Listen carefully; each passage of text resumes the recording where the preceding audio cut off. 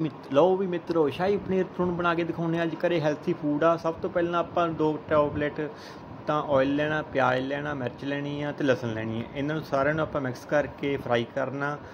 ਕੁਝ ਸਮੇਂ ਬਾਅਦ ਆਪਾਂ ਆਰਗੈਨਿਕ ਚੀਜ਼ਾਂ ਪਾ ਲੈਣੀਆਂ, ਧਨੀਆ, ਪਾਲਕ। ਇਹ ਬਹੁਤ ਹੀ ਸਿਹਤ ਲਈ ਲਾਹੇਵੰਦ ਆ। ਕੁਝ ਦੀ ਮੈਕਸਿਮਮ 5 ਮਿੰਟ ਤੱਕ ਇਹਨੂੰ ਬੋਇਲ ਕਰਨਾ। ਆਫਟਰ ਡੈਟ ਇਹ ਤੋਂ ਬਾਅਦ ਆਪਾਂ ਪਨੀਰ ਲੈਣਾ।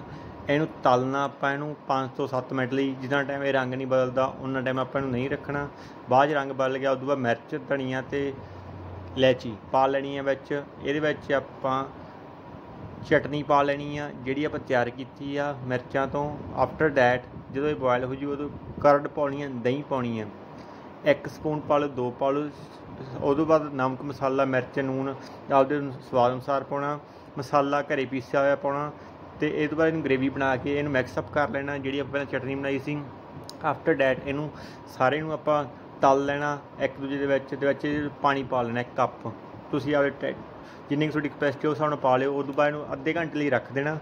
ਆਫਟਰ ਡੈਟ ਫਰੈਸ਼ ਕਰੀਮ ਲੈ ਕੇ ਆਉਣੀ ਆ, ਉਹ ਪਾਉਣੀ ਆ ਵਿੱਚ, ਜੇ ਹੋ ਸਕੇ ਘਰੇ ਬਣਾ ਲਿਓ। ਤੇ ਫਿਰ ਜੇ ਪਨੀਰ ਪਾ ਲੈਣਾ, ਜਿਹੜਾ ਆਪਾਂ ਫਰਾਈ ਕੀਤਾ, ਤੇ ਤੁਸੀਂ ਵੇਖਿਓ, ਇਹ ਕੁਝ ਟਾਈਮ ਬਾਅਦ ਇੰਨੀ ਵਧੀਆ ਬਣ ਜੂ। ਤੋਂ ਬਾਅਦ ਸਵਾਦ ਅਨੁਸਾਰ ਧਨੀਆ ਵਿੱਚ ਕੁਛ ਇਲਾਇਚੀ ਪਾ ਦਿਓ ਕੁਛ ਵੀ ਪਾਇਓ ਅਤੇ ਹੈਲਥੀ ਫੂਡ ਤਿਆਰ ਆ।